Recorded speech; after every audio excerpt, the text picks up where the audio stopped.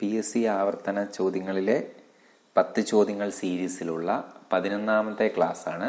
ബാക്കിയുള്ള ക്ലാസ്സുകൾ link description ബോക്സിൽ ആദ്യം തന്നെ പ്ലേലിസ്റ്റ് ആയിട്ട് കൊടുത്തിട്ടുണ്ട്. അല്ലെങ്കിൽ ചാനൽ സബ്സ്ക്രൈബ് ചെയ്തതിന് ശേഷം പ്ലേലിസ്റ്റ് ചെക്ക് ചെയ്ത് കഴിഞ്ഞാൽ ലഭിക്കുന്നതാണ്. ഓക്കെ. അപ്പോൾ ഒന്നാമത്തെ ചോദ്യം നോക്കാം.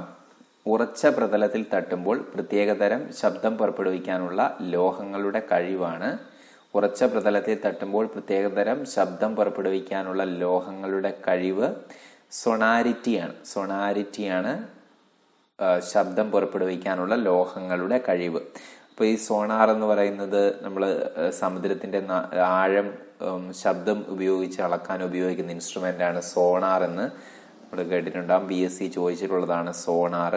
Sound navigation and ranging എന്ന് പറയുന്ന സോണാർ. അപ്പോൾ ഇത് കപ്പലുകളിൽ കടലിന്റെ ആഴക്കടലിന്റെ ആഴം അളക്കാൻ വേണ്ടി ഉപയോഗിക്കുന്നതാണ്. അപ്പോൾ സോണാർ. അപ്പോൾ അതുമായിട്ട് ബന്ധപ്പെട്ട് തന്നെയാണ് ഈ സോണാരിറ്റി എന്ന് പറയുന്നത്. ശബ്ദവുമായിട്ട് ബന്ധപ്പെട്ട വാക്ക് തന്നെയാണ്. അപ്പോൾ ഉറച്ച പ്രതലത്തിൽ തട്ടുമ്പോൾ പ്രത്യേകതരം ശബ്ദം പുറപ്പെടുവിക്കാനുള്ള ലോഹങ്ങളുടെ കഴിവാണ് സോണാരിറ്റി എന്ന് പറയുന്നത്. അതുപോലെ ഒരു ലോഹത്തെ അടിച്ചു പരത്തി ഷീറ്റുകളാക്കാൻ കഴിയുന്ന ലോഹത്തിന്റെ സവിശേഷതയാണ് മാലിയബിലിറ്റി. മാലിയബിലിറ്റി എന്ന് പറയുന്നത് അടിച്ചു പരത്തി ഷീറ്റുകളാക്കാനുള്ള കഴിവ്. ഒരു ലോഹത്തെ ലോകമല്ല ലോഹത്തെ വരിച്ചു നീട്ടി നേർ നേർത്ത കമ്പികളാക്കി മാറ്റാൻ കഴിയുന്ന സവിശേഷതയാണ് ഡക്റ്റിലിറ്റി. നേർത്ത കമ്പികളാക്കി മാറ്റാൻ ഉള്ള സവിശേഷതയാണ് ഡക്റ്റിലിറ്റി എന്ന് പറയുന്നത്. നേർത്ത കമ്പികളാക്കി മാറ്റാനുള്ള സവിശേഷതയാണ് ഡക്റ്റിലിറ്റി. ഇനി ലോഹങ്ങളുടെ മുറിച്ച ഭാഗങ്ങളിലെ തിളക്കത്തിന് പറയുന്ന പേരാണ് ഈ മെറ്റാലിക് ലസ്റ്റർ എന്ന് പറയുന്നത്. മെറ്റാലിക് ലസ്റ്റർ ഈ ഓപ്ഷനിലുള്ള നാല് കാര്യങ്ങളാണ് ഞാൻ പറഞ്ഞത്. സൊണാരിറ്റി എന്ന് പറയുന്നതാണ് ശബ്ദം പുറപ്പെടുവിക്കുന്നതിനുള്ള ലോഹങ്ങളുടെ കഴിവ്. മാലിയബിലിറ്റി എന്ന് പറയുന്നത് അടിച്ചു പരത്താനുള്ള കഴിവ്. നേർത്ത കമ്പികളാക്കാനുള്ള കഴിവാണ് ഡക്റ്റിലിറ്റി. മെറ്റാലിക് ലസ്റ്റർ എന്ന് പറയുന്ന ലോഹങ്ങളുടെ മുറിച്ച ഭാഗങ്ങളിലെ തിളക്കമാണ്. ഓക്കെ? അപ്പോൾ ഈ സീരീസിൽ പത്ത് സയൻസ് ചോദ്യങ്ങളാണുള്ളത്.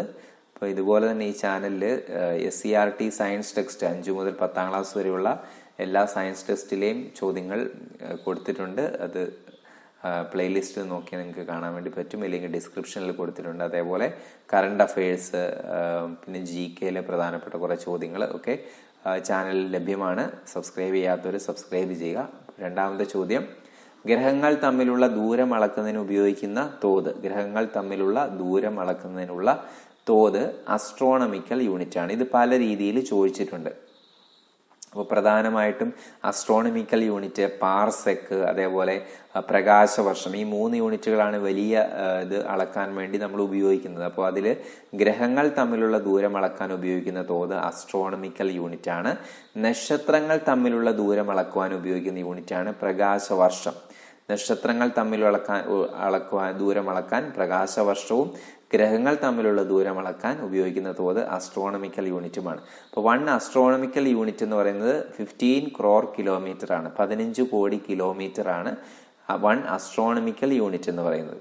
ഇനി പ്രകാശവർഷം എന്ന് പറയുന്നത് പ്രകാശം ഒരു വർഷം കൊണ്ട് സഞ്ചരിക്കുന്ന ദൂരമാണ്. പ്രകാ ഒരു പ്രകാശവർഷം ഒരു ലൈറ്റ് ഇയർ എന്ന് പറയുന്നത്. പ്രകാശം ഒരു വർഷം കൊണ്ട് സഞ്ചരിക്കുന്ന ദൂരം. അപ്പം അതിന്റെ value nine point four six into ten raise to twelve ആണ്. Nine point four six into ten raise to twelve ഇത് കിട്ടുന്നത് പ്രകാശത്തിന്റെ വേഗത സെക്കൻഡിൽ three into ten raise to eight ആണെന്നറിയാം. അപ്പോൾ അത് ഇന്റു അതിന്റെ second sixty into sixty into three sixty five ഒരു വർഷത്തേത് കണക്ക് കൂട്ടിയിട്ടാണ് ഈ nine point four six into ten raise to twelve എന്ന വാല്യൂ വരുന്നത്. അപ്പോൾ അതൊന്ന് പഠിച്ചിരിക്കേണ്ടതാണ് one light year is equal to nine point four six into ten raise to twelve ഇനി ഗാലക്സികൾ തമ്മിലുള്ള ദൂരം അളക്കാനുള്ള യൂണിറ്റ് ആണ് പാർസെക്ക് എന്ന് പറയുന്നത്. ഗാലക്സികൾ തമ്മിലുള്ള ദൂരം ആണ് പാർസെക്ക് അപ്പോൾ വൺ പാർസെക്ക് എന്ന് പറയുന്നത് ത്രീ പോയിന്റ് ടു സിക്സ് പ്രകാശവർഷമാണ്. മൂന്ന് പോയിന്റ് രണ്ട് ആറ് പ്രകാശവർഷമാണ് ഒരു പാർസെക്ക് എന്ന് പറയുന്നത്. ഒരു പാർസെക്ക് എന്ന് പറയുന്നത് മൂന്ന് പോയിന്റ് രണ്ട് ആറ് പ്രകാശവർഷമാണ്. വൺ അസ്ട്രോണമിക്കൽ യൂണിറ്റ് എന്ന് പറയുന്നത് ഫിഫ്റ്റീൻ കോർ കിലോമീറ്റർ ആണ്. വൺ ലൈറ്റ് ഇയർ എന്ന് പറയുന്നത് nine point four six into ten raise to twelve kilometre ആണ്.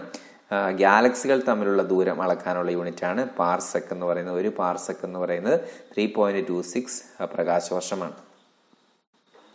ഇനി ഹെൻറി എന്നത് ഏത് ഇലക്ട്രോണിക് ധർമ്മത്തിന്റെ യൂണിറ്റ് ആണ്. ഹെൻറി എന്നത് ഏത് ഇലക്ട്രോണിക് ധർമ്മത്തിന്റെ യൂണിറ്റ് ആണ്. ഹെൻറി എന്ന് പറയുന്നത് ഇൻഡക്റ്റൻസിന്റെ യൂണിറ്റ് ആണ്. ഇൻഡക്റ്റൻസിന്റെ യൂണിറ്റ് ആണ്.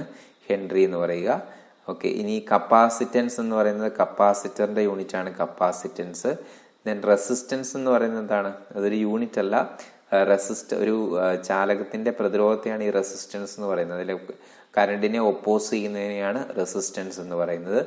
ഇനി റെക്ടിഫിക്കേഷൻ എന്ന് പറയുന്നത് റെക്ടിഫയർ അല്ലെങ്കിൽ റെക്ടിഫിക്കേഷൻ എന്ന് പറയുന്നത് എ സിയെ ഡി സി ആക്കുന്ന പ്രവർത്തനമാണ് റെക്ടിഫിക്കേഷൻ ഓൾട്ടർനേറ്റിംഗ് കറണ്ടിനെ ഡയറക്റ്റ് ആക്കുന്ന ഡയറക്റ്റ് കറണ്ട് ആക്കുന്ന പ്രവർത്തനമാണ് റെക്ടിഫിക്കേഷൻ റെക്ടിഫയർ എന്ന് പറയുന്നത് ഈ റെക്ടിഫിക്കേഷൻ ഉപയോഗിക്കുന്ന ഉപകരണമാണ് റെക്ടിഫയർ റെക്ടിഫയർ അപ്പോൾ ഇൻഡക്റ്റൻസിന്റെ യൂണിറ്റ് ആണ് എന്ത്? ഹെൻറി എന്നത്. ഹെൻറി എന്നത് ഇൻഡക്റ്റൻസിന്റെ യൂണിറ്റ് ആണ്. ഇനി സൗരകളങ്കങ്ങൾ ആദ്യമായി കണ്ടെത്തിയ ശാസ്ത്രജ്ഞൻ. ഒരു നല്ല ചോദ്യമാണ്. സൗര്യ സൗര കളങ്കങ്ങൾ ആദ്യമായി കണ്ടെത്തിയ ശാസ്ത്രജ്ഞൻ. ഗലീലിയോ ആണ്. ഗലീലിയോ ആണ്. സൗര കളങ്കങ്ങൾ എന്ന് പറയുന്നത് ഫോട്ടോസ്ഫിയറിൽ കാണപ്പെടുന്ന കറുത്ത പാടുകളാണ് സൺ സ്പോട്സ് അഥവാ സൗരകളങ്കങ്ങൾ. അതായത് ഫോട്ടോസ്ഫിയർ എന്ന് പറയുന്ന ഭൂമിയിൽ നിന്നും ദൃശ്യമായ സൂര്യന്റെ പ്രതലമാണ് ഈ ഫോട്ടോസ്ഫിയർ എന്ന് പറയുക. സൂര്യനിൽ നിന്ന് ഭൂമിയിൽ നിന്നും ദൃശ്യമായ സൂര്യന്റെ പ്രതലമാണ് ഫോട്ടോസ്ഫിയർ. അപ്പൊ ഈ ഫോട്ടോസ്ഫിയറിൽ കാണപ്പെടുന്ന കറുത്ത പാടുകളാണ് സൺ സ്പോട്സ് അഥവാ സൗരകളങ്കങ്ങൾ ഇത് കണ്ടെത്തിയത് ഗലീലിയോ ആണ്. ഗലീലിയൻ ടെലിസ്കോപ്പ് ഉപയോഗിച്ചിട്ടാണ് അദ്ദേഹം ഇത് കണ്ടെത്തിയത്. സൺ സ്പോട്സ് അഥവാ സൗരകളങ്കങ്ങൾ എന്ന് പറയുന്നത്. ഇനി ഈ ഫോട്ടോസ്ഫിയറിന് മുകളിലായി കാണപ്പെടുന്ന വർണാഭമായ പാളിയാണ് ക്രോമോസ്ഫിയർ എന്ന് പറയുന്നത്. ക്രോമോസ്ഫിയർ. ക്രോമോസ്ഫിയർ. ഇനി സൂര്യന്റെ ഏറ്റവും പുറമേയുള്ള പാളിയാണ് കൊറോണ. സൂര്യന്റെ ഏറ്റവും പുറമേയുള്ള പാളി കൊറോണയാണ്. നമ്മളിപ്പോൾ കൊറോണ കാലത്ത് ജീവിക്കുന്നതുകൊണ്ട് ഓർത്തിരിക്കുക സൂര്യന്റെ ഏറ്റവും പുറമേയുള്ള പാളിക്കും കൊറോണ എന്നാണ് അറിയപ്പെടുന്നത്. ഇനി സൂര്യനിൽ ഏറ്റവും കൂടുതൽ അടങ്ങിയിരിക്കുന്ന മൂലകം ഹൈഡ്രജൻ ആണ് സൂര്യനിൽ ഏറ്റവും കൂടുതൽ അടങ്ങിയിരിക്കുന്ന മൂലകം ഹൈഡ്രജൻ ആണ് അപ്പോൾ ഈ ഓരോന്നിലും അടങ്ങിയിരിക്കുന്ന മൂലകങ്ങളും ഗ്യാസുകളെ പറ്റിയൊക്കെ ചോദിച്ചിട്ടുണ്ട്. പ്രപഞ്ചം അതേപോലെ ഭൂവൽക്കം ഇതെല്ലാം. ഇതെല്ലാം കഴിഞ്ഞ വീഡിയോയിൽ ഡിസ്കസ് ചെയ്തതാണ്. ആ, മൂലകങ്ങളെ പറ്റി ഓക്കെ അപ്പൊ സൂര്യനിൽ ഏറ്റവും കൂടുതൽ അടങ്ങിയിരിക്കുന്നത് ഹൈഡ്രജൻ. അപ്പോൾ സൗരകളങ്കങ്ങൾ കണ്ടെത്തിയത് ഗലീലിയോ? ഫോട്ടോസ്ഫിയറിൽ കാണപ്പെടുന്ന കറുത്ത പാടുകളാണ് സൗരകണങ്ങൾ എന്ന് പറയുന്നത്. ഫോട്ടോസ്ഫിയർ എന്ന് പറയുന്നത് ഭൂമിയിൽ നോക്കുമ്പോൾ ദൃശ്യമായ സൂര്യന്റെ ഭാഗമാണ്.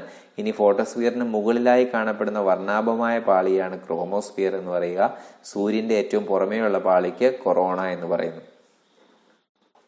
ഇനി ഏറ്റവും കൂടുതൽ ഉപഗ്രഹങ്ങളുള്ള ഗ്രഹം ഏറ്റവും കൂടുതൽ ഉപഗ്രഹങ്ങളുള്ള ഗ്രഹം വ്യാഴമാണ്. ഏറ്റവും കൂടുതൽ ഉപഗ്രഹങ്ങളുള്ള ഗ്രഹം വ്യാഴമാണ്. അപ്പം അതിലെ പ്രധാനപ്പെട്ട ഈ നാല് ഗ്രഹങ്ങളുടെ പേര് ഓർത്തിരിക്കുക. I Io Ganymede Callisto Europa. Io Ganymede Callisto Europa. ഇത് നാലിന്റെ പ്രത്യേകത ഓർത്തിരിക്കുക. ഇത് ഗലീലിയോ ആണ് കണ്ടുപിടിച്ചത്. ഗലീലിയൻ ഉപഗ്രഹങ്ങൾ എന്നാണ് ഇത് പറയുക. Io Ganymede Callisto Europa. Io Ganymede Callisto Europa. അപ്പൊ സൗരയൂഥത്തിലെ ഏറ്റവും വലിയ ഉപഗ്രഹമാണ് ഗാനിമിഡ് സൗരയൂഥത്തിലെ ഏറ്റവും വലിയ ഉപഗ്രഹമാണ് ഗാനിമിഡ് സൗരയൂഥത്തിൽ ഏറ്റവും അധികം അഗ്നിപർവതങ്ങൾ കാണപ്പെടുന്ന ഉപഗ്രഹമാണ് അയോ. ഏറ്റവും കൂടുതൽ അഗ്നിപർവതം കാണപ്പെടുന്ന ഉപഗ്രഹങ്ങളാണ് അയോ. അയ്യോ എന്നാണ് ഇത് എഴുതിയിരിക്കുന്നത്. അയോ എന്നാണ് അയോ ഏറ്റവും കൂടുതൽ അഗ്നിപർവതങ്ങൾ കാണപ്പെടുന്ന ഉപഗ്രഹം. ഇനി ഗുരുത്വാകർഷണം ഏറ്റവും കൂടുതലുള്ള ഗ്രഹം വ്യാഴമാണ്. ഗുരുത്വാകർഷണം ഏറ്റവും കൂടുതലുള്ള ഗ്രഹം വ്യാഴമാണ്. അതുകൊണ്ട് തന്നെ പലായന പ്രവേഗവും ഏറ്റവും കൂടുതലുള്ള ഗ്രഹം വ്യാഴമാണ്. പലായന പ്രവേഗവും ഏറ്റവും കൂടുതലുള്ള ഗ്രഹം വ്യാഴമാണ്. അപ്പോൾ ഈ ഗുരുത്വാകർഷണത്തിനെ ഓവർകം ചെയ്യാനുള്ള വെലോസിറ്റിയാണ് പലായന പ്രവേഗം എന്ന് പറയുന്നത്. ഒരു വസ്തുവിന്റെ ഗുരുത്വാകർഷണത്തിൽ നിന്ന് ഓവർകം ചെയ്ത് പോകാൻ എടുക്കേണ്ട വെലോസിറ്റി അതിന്റെ സ്പീഡാണ് പലായന പ്രവേഗം എന്ന് പറയുക. അപ്പം ഗുരുത്വാകർഷണം കൂടുതലുള്ളെങ്കിൽ പലായന പ്രവേഗവും കൂടുതലായിരിക്കും. അപ്പം ഗുരുത്വാകർഷണം ഏറ്റവും കൂടുതലുള്ള ഗ്രഹമാണ് വ്യാഴം. അതുകൊണ്ട് തന്നെ പലായന പ്രവേഗവും ഏറ്റവും കൂടുതലുള്ള ഗ്രഹം വ്യാഴമാണ്. അപ്പൊ ഗലീലിന് ഉപഗ്രഹങ്ങൾ ഓർത്തിരിക്കുക. Io Ganymede Callisto Europa. ഗാനിമിഡാണ് ഏറ്റവും വലിയ ഉപഗ്രഹം. അയോയിലാണ് ഏറ്റവും വലിയ അധികം അഗ്നിപർവതങ്ങൾ കാണപ്പെടുന്ന ഉപഗ്രഹം. ഇനി അബ്സല്യൂട്ട് സീറോ എന്ന പദം താഴെ കൊടുക്കുന്നവയിൽ ഏത് വിഭാഗവുമായി ബന്ധപ്പെട്ടിരിക്കുന്നു? അബ്സല്യൂട്ട് സീറോ അപ്പോൾ അബ്സല്യൂട്ട് സീറോ താപവുമായി ബന്ധപ്പെട്ടിരിക്കുന്നതാണ് അബ്സല്യൂട്ട് സീറോ അതായത് ഒരു പദാർത്ഥത്തിന്റെ എല്ലാ തന്മാത്രകളുടെയും ചലനം പൂർണമായും നിലയ്ക്കുന്ന മുഴുവനായും നിലയ്ക്കുന്ന ഊഷ്മാവാണ് അബ്സല്യൂട്ട് സീറോ എന്ന് പറയുന്നത്.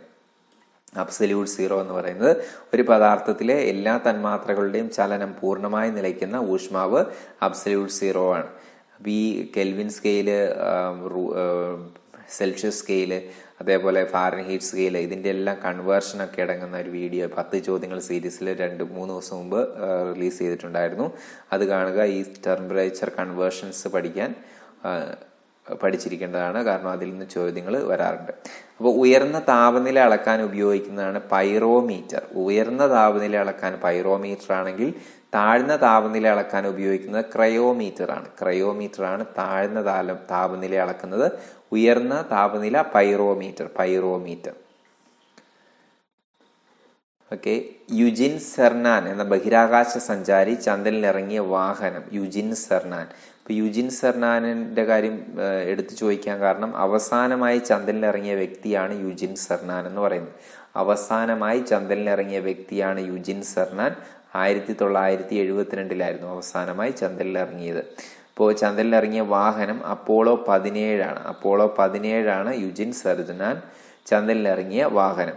അപ്പൊ ചന്ദ്രനിൽ ഇറങ്ങിയ ഏറ്റവും പ്രായം കൂടിയ ആൾ അലൻ ഷെപ്പേർഡാണ് ചന്ദ്രനിൽ ഇറങ്ങിയ ഏറ്റവും പ്രായം കൂടിയ ആൾ അലൻ ഷെപ്പേർഡാണ് ചന്ദ്രനിൽ ആദ്യമായി വാഹനം ഓടിച്ച വ്യക്തി ജെയിംസ് ഇർവിനാണ് ജെയിംസ് ഇർവിനാണ് ചന്ദ്രനിൽ ആദ്യമായി വാഹനം ഓടിച്ച വ്യക്തി. അപ്പൊ ചന്ദ്രനിൽ ഇറങ്ങിയവരെ പറ്റിയും ബാക്കി കാര്യങ്ങളൊക്കെ മുമ്പുള്ള ഒരു പത്ത് ചോദ്യം സീരീസിൽ ഒരു വീഡിയോയിൽ ചെയ്തിട്ടുണ്ടായിരുന്നു.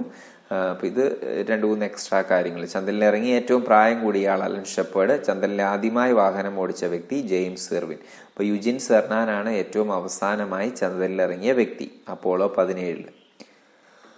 ഇനി വായുവിൽ ശബ്ദത്തിന്റെ വേഗത വായുവിൽ ശബ്ദത്തിന്റെ വേഗത മുന്നൂറ്റി നാൽപ്പത് മീറ്റർ പെർ സെക്കൻഡ് ആണ്. വായുവിൽ ശബ്ദത്തിന്റെ വേഗത മുന്നൂറ്റി നാൽപ്പത് മീറ്റർ പെർ സെക്കൻഡ് ആണ്. അപ്പം ഖരം ദ്രാവകം വാതകം ഇതിൽ വാതകത്തിലാണ് ശബ്ദത്തിന് ഏറ്റവും വേഗത കുറവ്. ഖരത്തിലാണ് ഏറ്റവും കൂടുതൽ. അത് കഴിഞ്ഞ് ദ്രാവകത്തിൽ പിന്നെ വാതകത്തിൽ. അപ്പൊ ഏറ്റവും കുറവ് വാതകത്തിലാണ്. അപ്പോൾ വായുവിൽ ശബ്ദത്തിന്റെ വേഗത മുന്നൂറ്റി നാൽപ്പത് മീറ്റർ പെർ സെക്കൻഡ് ആണ്. ഈ three into ten raise to eight പെട്ടെന്ന് എഴുതി വെക്കരുത്. ഇത് പ്രകാശത്തിന്റെ വേഗതയാണ്. അപ്പോൾ ശബ്ദത്തിന്റെ വേഗത മുന്നൂറ്റി നാൽപ്പത് മീറ്റർ പെർ സെക്കൻഡ് അപ്പോൾ അതേപോലെ ജലത്തിലൂടെയുള്ള ശബ്ദത്തിന്റെ വേഗതയും കൂടെ ഓർത്തിരിക്കുക. ആയിരത്തി നാനൂറ്റി അമ്പത്തി മൂന്ന് മീറ്റർ പെർ സെക്കൻഡ് തടിയിൽ കൂടെയുള്ള ശബ്ദത്തിന്റെ വേഗത മൂവായിരത്തി എണ്ണൂറ്റി അമ്പത് മീറ്റർ പെർ സെക്കൻഡാണ് അപ്പോൾ അത് തടി ഖരമായതുകൊണ്ട് അതിന്റെ വേഗ അതിലൂടെയായിരിക്കും ശബ്ദത്തിന് ഏറ്റവും വേഗത കൂടുതൽ ഇപ്പം ജലത്തിന് ദ്രാവകത്തിൽ അത് കഴിഞ്ഞിട്ടായിരിക്കും. പിന്നെ ഏറ്റവും ലാസ്റ്റ് വരുന്നതാണ് വാതകത്തിൽ മുന്നൂറ്റി നാൽപ്പത് മീറ്റർ പെർ സെക്കൻഡ് പിന്നെ ഈ ആവർത്തന പ്രതിഫലനമാണ് അനുരണനം എന്ന് പറയുന്നത്. ആവർത്തന പ്രതിഫലനമാണ് അനുരണനം എന്ന് പറയുന്നത്.